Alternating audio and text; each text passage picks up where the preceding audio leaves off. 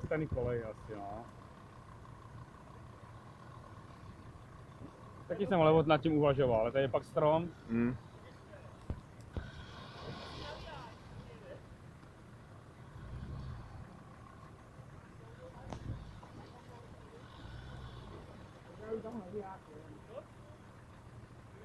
No,